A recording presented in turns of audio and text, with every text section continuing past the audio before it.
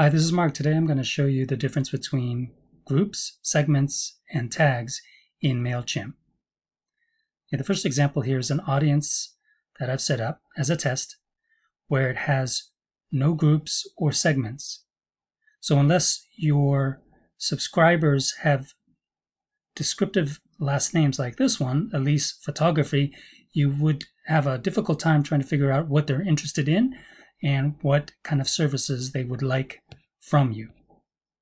So if you could imagine if you had a bigger list, about 500 to 1,000 subscribers or more, that every campaign you would email, they would get, all your subscribers would get that campaign. Okay, so all 5,000, 10,000 people would get your one campaign, whether they like it or not. Now, the sign up form for this one that has no groups, no segments would look like this. This is all the information you'll get. All right, let's switch to an audience I've set up here as a test audience that has groups and segments. And the first group that you'll see is an interest group. I have another one called type, but we'll just focus on one for this tutorial. Okay, so you could think of this interests column as a category, and under this column, we'll have groups that fit into the category. So I have a photography group, for an example, yoga, art, and fitness, etc.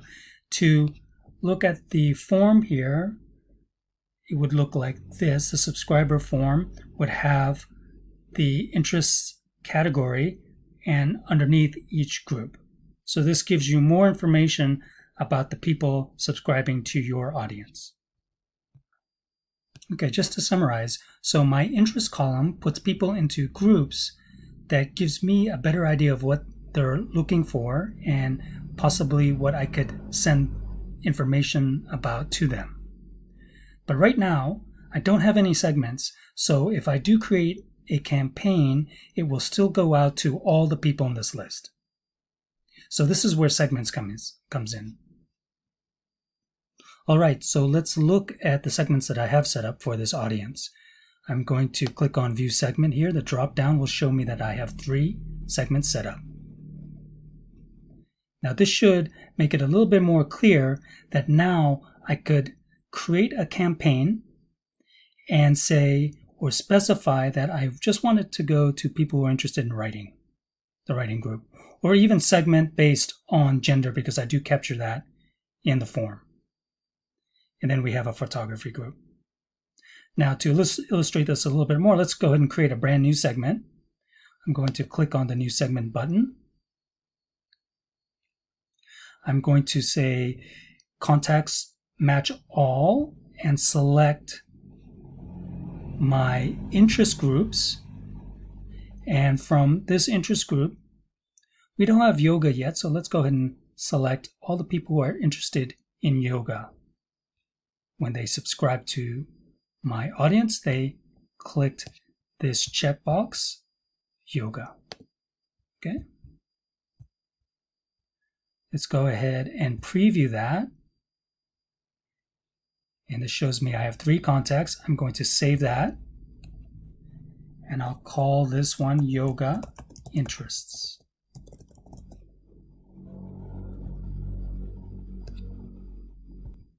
Now, when I go and create a brand new campaign, campaign like this one, Hot New Yoga Classes,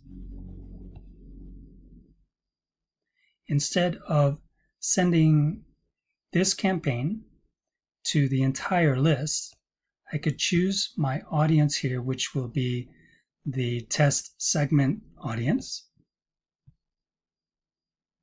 And here I'll find that my yoga interests segment is there. So we'll see that I'm getting the segment example audience. And just a few moments ago, I created the yoga interest segment. Click Save. And if you remember, we could do a quick preview that we had three people in that segment, and we could verify that in this yoga interest segment that this campaign will be going to those three people. It's a nice feature in MailChimp. All right, so let's summarize what we just did. So we created a interest column or group that gives me information about what people are interested in. But if I want to send a campaign based on people's interests, I would have to create a segment. Otherwise, every campaign I send out would go out to the entire list. So this lets me narrow down the list or create, maybe you could think of it as sublists. Now, one common question I get a lot is, well, why don't I just create a separate yoga list, separate photography list?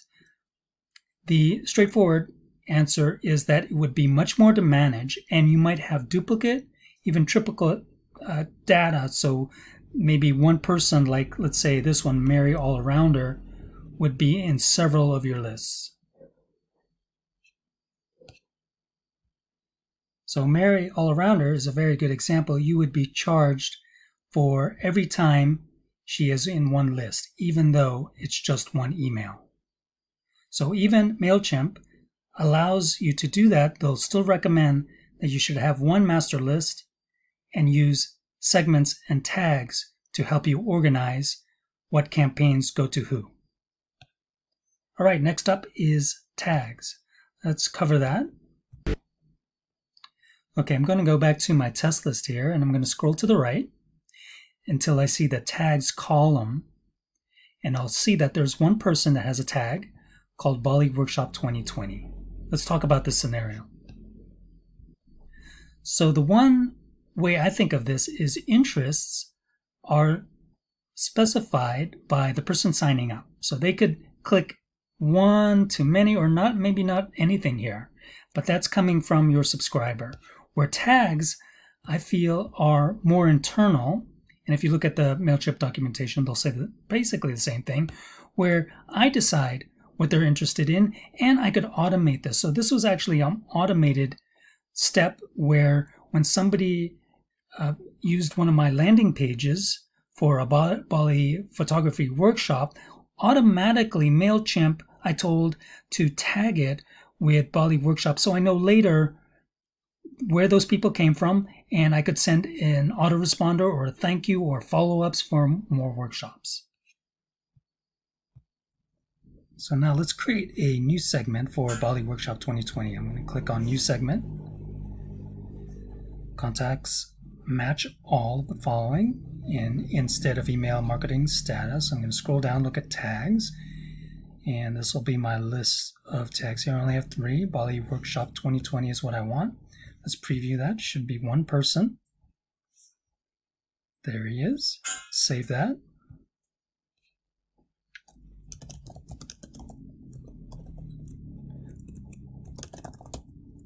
Let's name this. It could be different, or I know this one's very similar to the tag itself. But just for time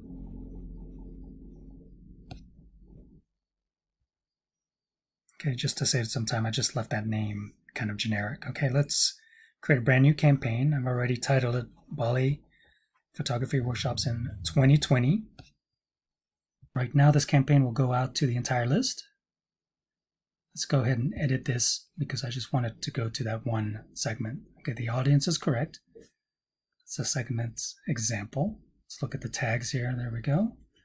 Or, or actually the segment that I already created. You can do a tag on the fly here, but I already did this beforehand just to be a little bit more organized. But if you want to do it, um, say a spur of a moment campaign, and you didn't create that segment yet, you could do this on the fly. You could just say send this campaign to this tag. All right. I know that adds a little bit more to the confusion, but it does give you some flexibility. Okay, and we're done. Uh, that, that's a wrap for this video. I'll also put a link in the YouTube description to an article that I wrote about why you should mainly work with one email list. I know there's exceptions to the rule, but especially when you're working with MailChimp, try to keep everything in one master list and then use groups, segments, and, and tags to help you refine and organize. Thanks for watching. Take care. Bye.